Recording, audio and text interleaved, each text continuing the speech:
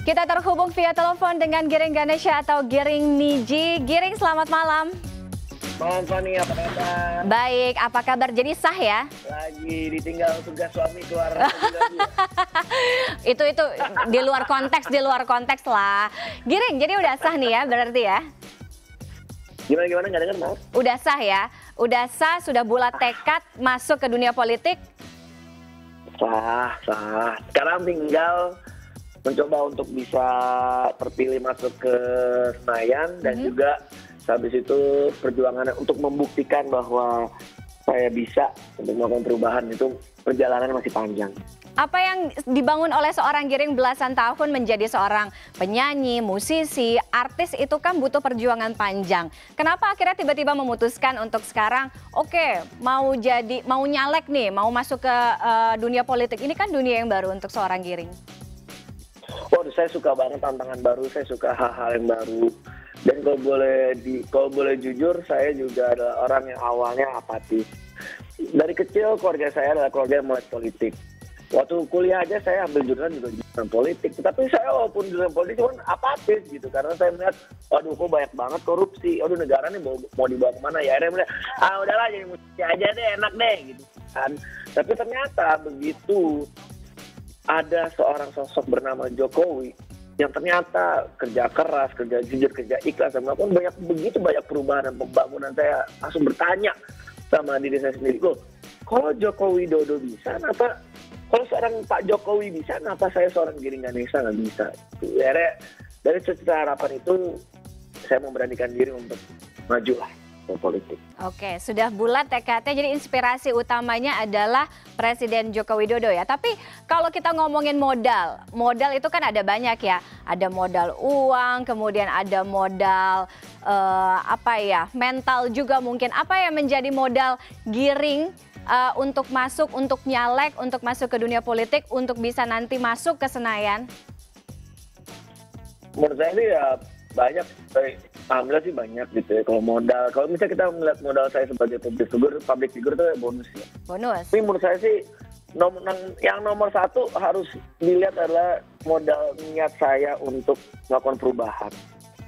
Modal niat saya untuk kerja keras buat rakyat Indonesia. Itu dulu deh. Baru dari situ runtutan ke bawahnya deh. Kayak contohnya misalnya modal untuk kampanye. Saya lebih memilih untuk crowdsourcing atau maksud saya adalah penggalangan dana untuk biar bisa eh, berkampanye karena nanti tanggung jawab saya tinggal ke rakyat bukan ke partai iya nggak Iya, jadi optimis banget ya. Akan bisa masuk nanti ke Senayan optimis dong hidup kan harus optimis Harus optimis. Oke, ketika nanti masuk ke Senayan, apa sih yang akan menjadi akan berkontribusi eh, paling besar yang eh, Giring mau ketika ketika menjadi wakil rakyat? Apa bidang yang disasar? Yang bidang yang disasar itu ya automatically bidang yang di, eh, yang sudah membesarkan nama saya lah pasti industri kreatif Mhm. satu dan kebetulan industri kreatif itu juga satu komisi dengan pendidikan yang juga concern saya yang terbesar gitu jadi kalau misalnya bisa dibilang eh, apa yang mau saya lakukan saya ingin sekali terjun ke eh, bidang pendidikan Heeh.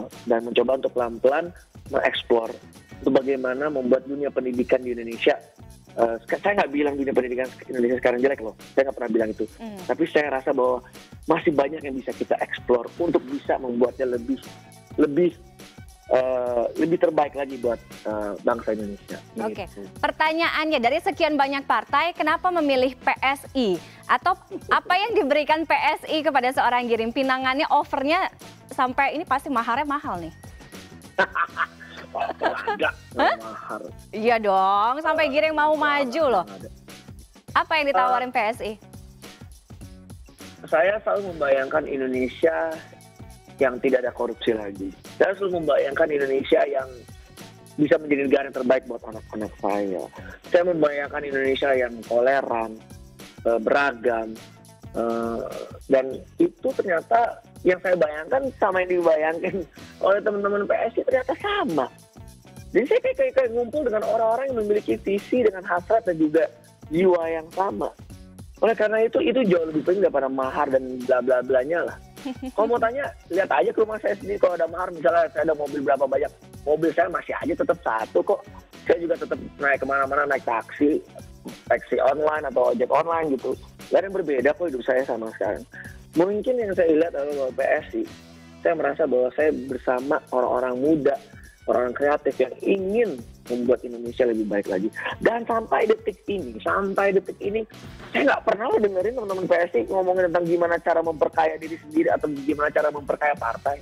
Oke, intinya ada di satu line visi dan misi yang uh, sama ya tujuannya. Oke, Giring uh, Giring belajar dari senior-seniornya, um, artis-artis yang masuk ke dunia politik, yang ada di Senayan, misalnya mungkin yang juga seprofesi seperti Pasha dulu di Ungu, kemudian ada juga Anang Hermansyah. Apa yang bisa Anda pelajari artinya Anda bisa melakukan sesuatu yang jauh lebih baik dari senior-senior Anda? Loh, uh, saya bukannya ingin menjadi lebih baik sama pengennya kerja sama. Mm. karena saya tahu uh, impiannya sama tujuannya sama. Misalnya kan seharian ini pertanyaannya semua sama. Uh, gimana artis kan stereotip jadi kita tuh nomor artis yang masuk di DPR terus kayak kesannya di stereotipnya cuman bonus public figure akhirnya masuk akhirnya nggak kerja. Sedangkan saya lihat nggak seperti itu. Mas, Mas Tanto Yahya dua kali terpilih sekarang jadi duta besar di New Zealand. Mas Anang walaupun nggak keluar-keluar di sosial media tapi sekarang beliau lagi memperjuangkan RUU musik bersama teman-teman musisi loh. Ya menurut saya uh, musisi-musisi ini jangan dipandang sebelah mata. Artis-artis jangan dipandang sebelah mata. Kita punya kekuatan juga. Dan kekuatan kita juga ya kerja keras juga. Oke, artinya Saya juga punya tanggung jawab besar buat mm -hmm, Anda punya modal, punya tekad yang sama, jangan dianggap sepele. Tapi kita lihat nanti perkembangannya seperti apa. Terima kasih, makasih ya Giring ya, ya sudah ya. bergabung. Didoain, mudah-mudahan cita-citanya mulia, akan hasilnya juga mulia nanti ya.